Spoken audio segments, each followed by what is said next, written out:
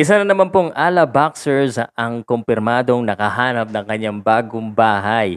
At ang pinag-uusapan po natin dito ay si Melvin Jerusalem. Si Gringo, ang ating kaibigan. At ibabalita ko sa inyo kung anong promoter, anong promotion or management ang kanyang napuntahan. Kaya kung gusto mong malaman, eh, Diyan ka lang ha. Hit mo yung subscribe hit or notification bell or pati na notification bell na rin.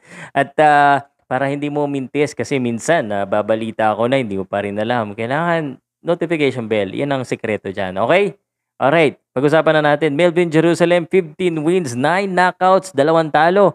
Ito, isang, itong boxer na to malupit ito kasi uh, yung dalawang talo niya, FYI ha, nakalaban niya si uh, si uh, Moonstri Kilala niyo ba kung sino si Moonsri? Yun yung sa backstreet niya kasi.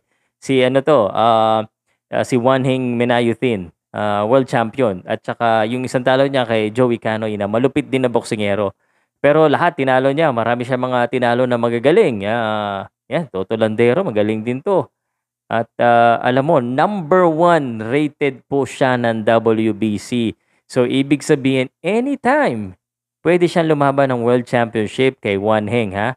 Ah, so titingnan natin kung ah, ito na ba ang kanyang swerte. Dahil nag-sign na po siya sa promotion ng may hawak kay Romero Duno.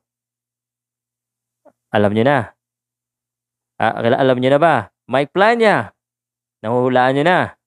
John Vincent Moralde. Raymart Gabalio.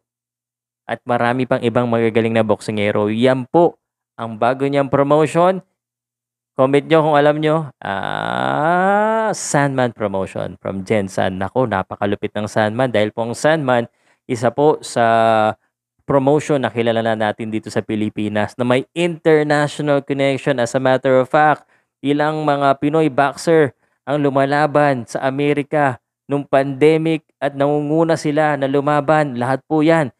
At uh, nananalo pa. Yun ang importante. Is Sandman Boxing Promotion. So good job uh, I think Melvin uh, Jerusalem, uh, it's a good decision. And I think maalagaan ka dyan ng Sandman Promotion. Kilala na mismo natin yung mga, mga kumbaga, mga principals, mga may-ari at uh, mababait. At uh, alam ko, uh, they would have a good plan for you. 26 years old, still long career. And I hope you have a chance again for a world title. So again, sa, sa mga nanonood dito, kung natuwa kayo sa desisyon ni Melvin Jerusalem at na-excite kayo, i-comment nyo naman ng congratulations si Melvin Jerusalem, ang isa sa mga ala boxers na nakahanap na ng tahanan.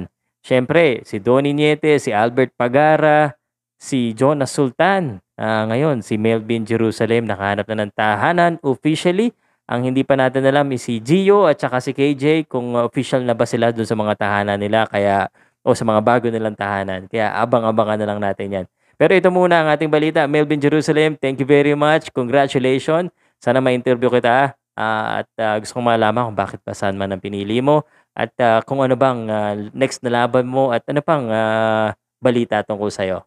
Salamat and uh, don't forget to comment, subscribe, and hit that notification bell sa mga fans ni Melvin Jerusalem. At sa mga hindi pa fans, yabay, kilalanin nyo na si Melvin dahil bak, maging world champion to kayo din. Salamat po!